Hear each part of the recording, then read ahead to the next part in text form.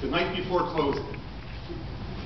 Twas the night before closing when all through two pens, analysts were counting, reporting to Gary Henn. the P&Ls were set and the columns in line, and I nestled into my chair, thinking everything was fine.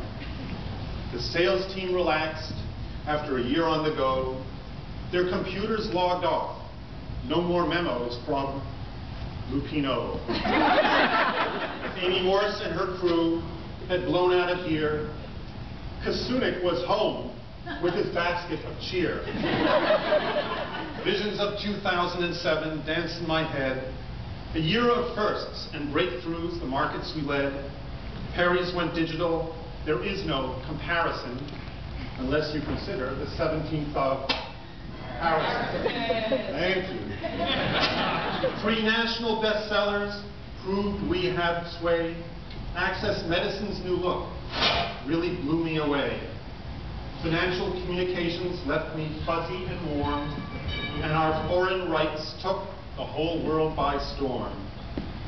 I thought dreamily to myself, my head on my pillow, about our new publisher, good old medical publisher, good old Scott Grillo.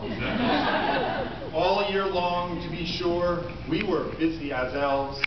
I even found a new office way up on 12.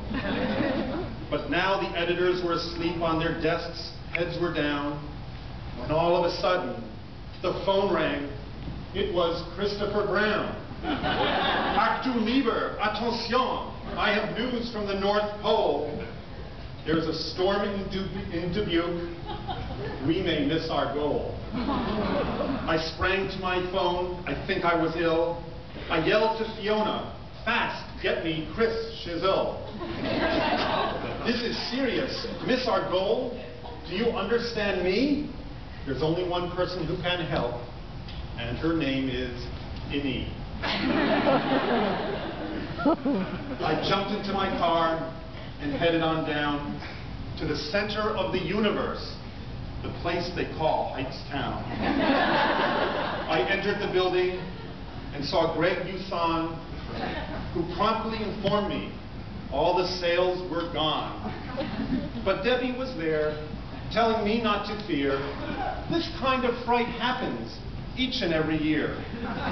Calmly, she cautioned and gave me to pause, just to be safe why don't you call Santa Claus? so I put in a call, couldn't reach old St. Nick. I suppose he was busy preparing his trip. Our front list in Dubuque was getting cold on the dock, and our best sellers were starting to appear out of stock. I turned to plan B, and what do you know? Walking down the hall was Sandy Panabianco. I told her my problem. She knew what to do. Quickly, she said, have I got a great deal for you? what into the phone she hollered. It's too R-rated to say. You know she's one tough negotiator at the annual BEA. We need books to go out and need your help, I insist.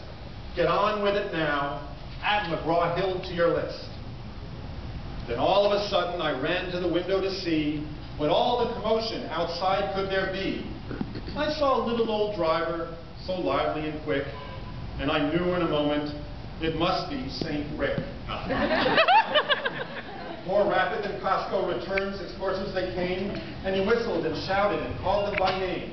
Now Bert, now Julia, now Pat and Joe, on George, on Richard, on Connie and Bruno, to the top of the charts, I could hear him shout, let's do our part to get all the books out.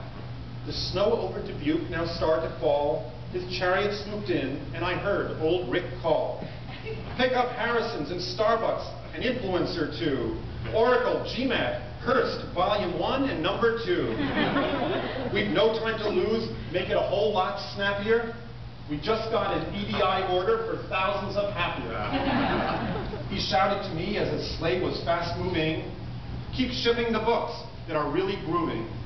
Then suddenly his charts, suddenly his chariot, it began to sag. He dropped 50 pallets of books into his big red bag.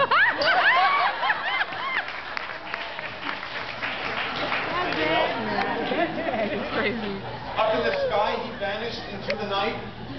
Our frontlist disappeared and was whisked out of sight. Back orders released in numbers that thrill.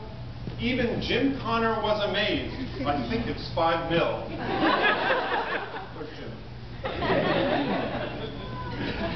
As he flew away, I could tell most clearly he praised our marketing in an editorial quite cheerily.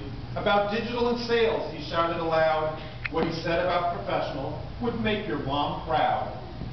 The year's nearly over. The McGraw-Hill team is the best.